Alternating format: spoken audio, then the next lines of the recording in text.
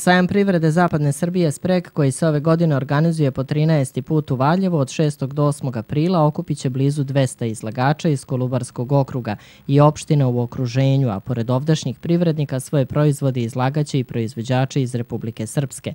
Novina ove godine i nova izložbena hala od 300 kvadrata uz povećanje prostora za izlagače na otvorenom. Nadam se da se ovaj naš dosadašnji trud koji već 13 godina ulažemo uh, polako isplaćuje u tom smislu da zaista ljudi prepoznaju e, koliko energije ulažemo u, u ceo sajam, tako da smo ove godine tom trećom halom e, svakako postali i formalno najveći sajam na teritoriji zapadne Srbije, faktički od Sremske Mitrovice pa dole do Priboja, e, Nove Varoši i faktički granice dole sa Crnom Gorom, ne postoji manifestacija ovakvog obima i ovog tipa.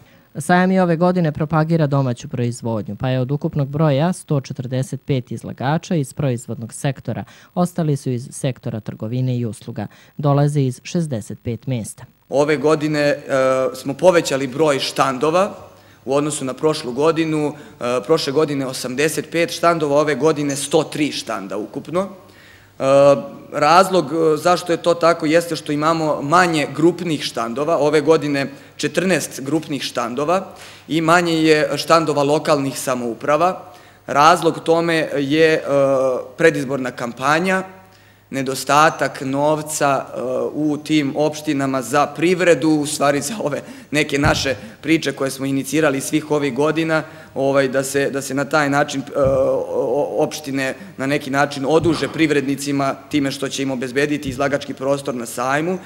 Ove godine posebna karakteristika jeste što nam se, uh, što nam se veliki broj izlagača su faktički iz poljoprivredne branše, Tu su i velike firme e, koje su poznate na nacionalnom nivou, tu su i male firme, to su i poljoprivredna gazdinstva. Otvaranje sajma planirano je 6. aprila u 11 sati kada se pored predstavnika grada Valjeva očekuje dolazak ministara trgovine i turizma i industrije, energetike i rudarstva u vladi Republike Srpske, gradonačelnika Bijeljine, predstavnika Srpskog ministarstva poljoprivrede. U okviru sajamskih programa govorit će se o unapređenju saradnje privreda Zapadne Srbije i Republike Srpske, a planirano je i održavanje nekoliko predavanja iz oblasti poljoprivrede. 15 izlagača nam dolazi po prvi put iz Bijeljine, i to je, to je ono što, što treba posebno naglasiti. Nova opština koja nam se, pored nekih starih, da ih ne nabrajam, tradicionalno Mionica, Lajkovac i Osečina su tu kao, kao naše opštine koje su od početka sprega sa nama i na sajmu. A ove godine nam se e, pridružuje i opština Požega, sa uh, sedam firmi uh, iz Požeškog kraja. Posetioci će i na ovogodišnjem sajmu prema najavi organizatora imati priliku da budu deo domaće priče, čiji su pokretači domaći trgovački lanac i kompanija Europrom, gde će se predstaviti 50 izlagača.